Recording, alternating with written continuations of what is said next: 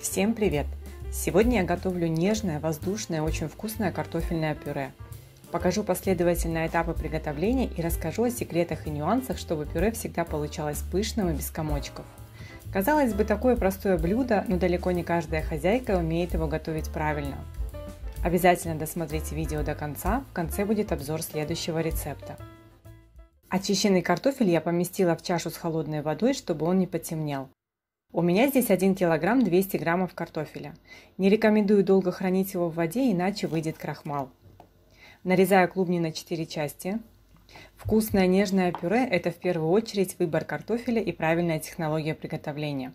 Для пюре лучше выбирать старый картофель с большим содержанием крахмала. Тогда он получится рассыпчатым, а пюре будет более пышным и вкусным. Молодые клубни для этой цели лучше не использовать.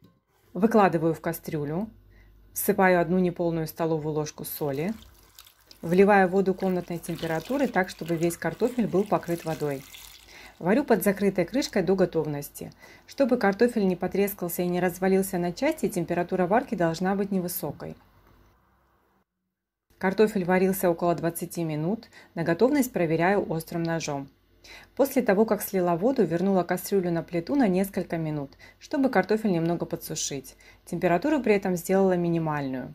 Это делается для того, чтобы выпарилась лишняя влага, так картофель будет рассыпчатым, легче быстрее разминаться, а пюре получится нежным и мягким. Переложила в удобную посуду для взбивания, так как придется хорошенько поработать толкушкой. Очень важно хорошо размять картофель перед добавлением масла и молока.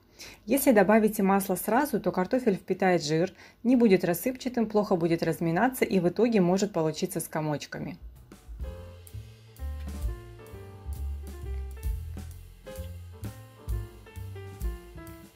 Теперь добавляю около 30 граммов сливочного масла. Масло не нужно растапливать, под действием температуры картофеля оно и так быстро растает.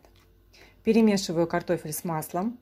Ни в коем случае не используйте миксер и тем более блендер, так как при механическом воздействии блендера на высокой скорости происходит разрушение частиц крахмала и пюре превращается в невкусную тягучую клейкую массу.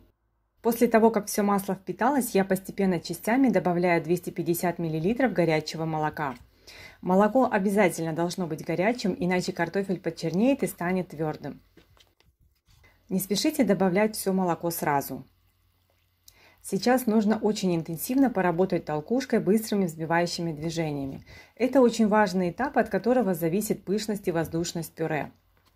Сырое яйцо добавлять не рекомендую. От него пюре становится жестче.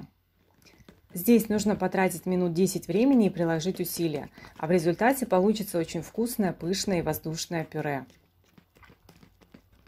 Посмотрите, какая нежная кремовая структура получается. Для еще более ярко выраженного вкуса в готовое пюре можно добавить мускатный орех, черный молотый перец или просто посыпать любимой рубленой зеленью. Я обожаю картофельное пюре, часто готовлю его в качестве гарнира к мясу, рыбе, котлетам, фаршированным перцем, а также в качестве самостоятельного блюда, которое очень вкусно, например, с овощным салатом.